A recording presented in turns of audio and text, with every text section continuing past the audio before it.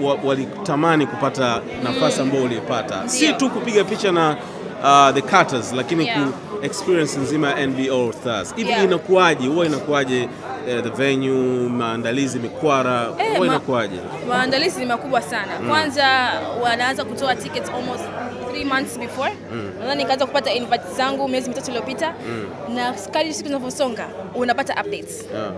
weather updates where to collect your tickets um, venues zitakopo wapi?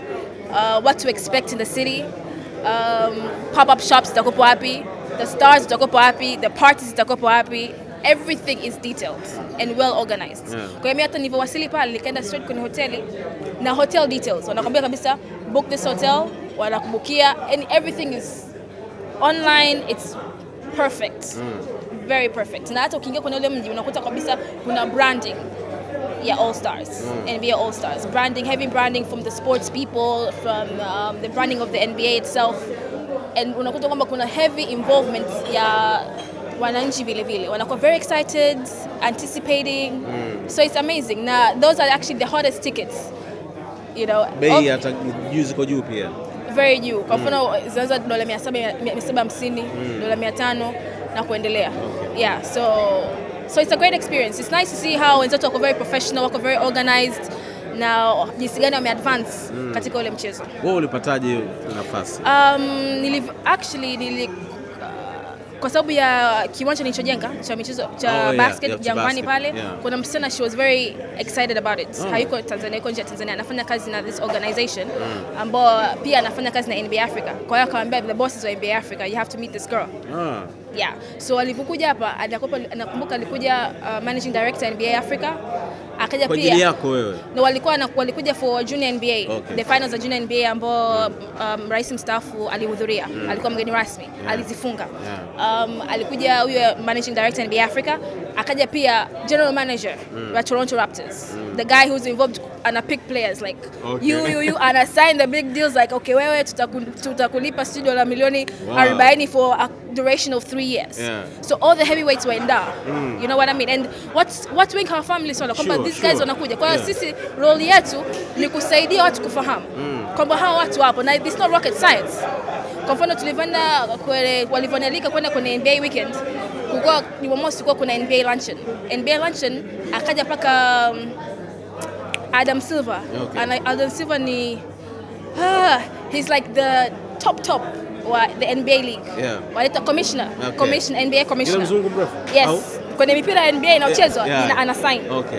alikuwa pale for the first time actually alikuwa kwenye NBA luncheon na wakazindua kwamba waka announce kwamba kutakuwa kuna NBA Africa game ambayo itafanyika tarehe 5 mwezi wa nane na kuwa kuna mastaa mbalimbali Alafu most of them which was sad were West Africans Yeah. wakina Jidena there's this other girl Mara ya pili itakuwa inadha. Eh, mara pili no, yani mara ya pili Yeah, inafanyika Africa. Johannesburg. Yeah, yeah. Yes, lakini ilikuwa ni mara kwanza kwa NBA commissioner mwenyewe Okay. kuhudhuria. Oh, Kwa Well, it's like it's picking momentum. Yeah. And and the conversation around ni kutumia entertainers, kutumia sports people to to be role models, to be ambassadors Yeah. of the entire African agenda. Kwamba there are people who are talented, we have amazing things in the continent, and this is who we are. Yeah. You know, the positive side of Africa. Kwa hiyo, that was really exciting for me, and I, I totally loved the experience, and everyone was so welcome. Tulikaa kwenye suites. Kwa hiyo tuna- it was like a VIP bar, tunakula tunaangalia game, and then naona kina Steph Curry, kina LeBron James, and obviously the ultimatum Beyonce. Oh yeah, let's talk about it. Ulipoenda pale ulipata courage gani? Kwa sababu watu wengi Actually, walikuwa yes. wanakuangalia. I know because Huh? when I when when actually when I, when I, walivyoniambia, you know what, the NBA All Stars inafanyika New Orleans. I was like, wait, that's Beyonce's mother's town. I was like, she's gonna be there. In Kichwa, I was like, she's gonna be there. So nimefika Jumaa Jumamosi naangalia one of our pages. I don't know what happened in the morning. I'm like, yo, Beyonce's actually in New Orleans. So I text the guy, the MD. I'm like, I have to see Beyonce. He's like, no worries, mimi nitakusaidia kupata tickets at courtside. Whatever you do, it's up to you. Yeah. So tulipokuwa siku ile nilikuwa na kina Mini Dlamini, the girl from South Africa, Yeah, she's yeah. also there. Tukapewa tuka sasa before the sasa the main game, the NBA All-Star game hiyo Sunday. Mm -hmm The media guy wa NBA Africa akaja kutuchukua kule suit akasema chini. Tukaende kula kutua the court side. Kuangalia nini, ku meet the players, you know, just to tour the court side. So when we were touring like, wait, there's Beyonce Jay-Z. So I did a detour. I did a detour I was like, hi, I'm from Tanzania. Yeah, yeah. And then everyone, Blue. yeah. And then the okay, the minute was like, you actually went. I was like, yeah. What do you mean? I mean, we're. You have to grab every opportunity. You never know Yeah. where this opportunity will land you next. Kwa hiyo nikasema, of course, Nilienda. Okay. I love Beyonce. I love her hustle. I love the Carters. They're inspiring. They're role models. We did it for the culture. Thank you. Thank you. Okay.